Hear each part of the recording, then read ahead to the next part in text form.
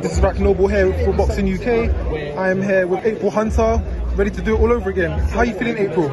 Feeling good, mate. Just ready to ready to get in there on Saturday night. This this all this media stuff. What you wish you could just bypass all this and get to the ring, but um, looking forward to it. Ready, use the time we've had to prepare wisely and um, ready to show the best April Hunter Saturday night. Generally, doing the press conferences one time over is a big deal, and it's a lot of effort for the boxers. It's strange, you just want to get in there. You're having to do it all over again. How's it feel being almost asked the same questions, seeing the same faces, going through the same routine for the second time? I think actually we're quite lucky. I'm sure that tomorrow the press conference is just for the main event, so I don't think tomorrow we have to do it. I don't know if I'm being 100% of that, that's right, but that's just what I heard. So uh, yeah, I don't think we'll have to do it again tomorrow. I think it's just the main event, so we'll get the media all done today and then it's all focused on Saturday. So of course you've had a month out from the last time you was meant to fight on this card.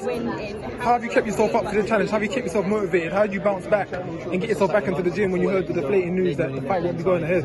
Well, we just had a, we took a week off and then we had a week take, like taking the back off and then we had two weeks hard sparring and then a week taper. So it's uh, we're, professionals. This is our job. This is what we do. So if you if you can't be, stay disciplined and keep yourself up for this, then you're in the wrong job. So uh, just want to get in there Saturday night and do a job. I must say that's a very good answer. We're professionals. We do this. It's a job. You pick yourself up, you go again. Yeah.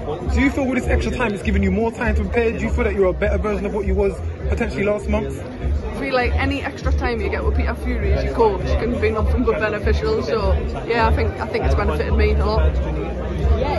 So of course, last time out, there's words between Savannah and Claressa.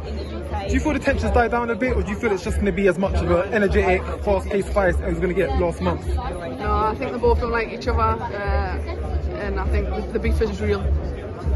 Any chances the day after the fight you're not having breakfast together at the Continental Hotel and toasting over a cup of beer or tea? Not a chance, mate. Not a chance. No, definitely not. There's no chance of being friends. No, no, definitely not. And lastly, we're currently in October. When do you see yourself out being next? Um, I spoke to Pete after this, and we'll be looking for a, for a, a, big step up after this fight. So we'll just see what's happening, and probably be looking to be next year now. There are various girls around your way, of course. Terri Harper, Natasha Jonas, Hannah Rankin. Even in America, they like to Summer Lin. There's quite a lot of girls and a lot of competition. So any of them in particular looking to get in the ring with or step forward to? I'm not to say something there, but you'll see Saturday night uh, which one of them I'll be calling out for my next one. So let's see. One of four names. One want, four names. I'm gonna numb that one down. anyway, April, thank you for your time and uh, all the best for Saturday night. No worries, mate. Thank you very much.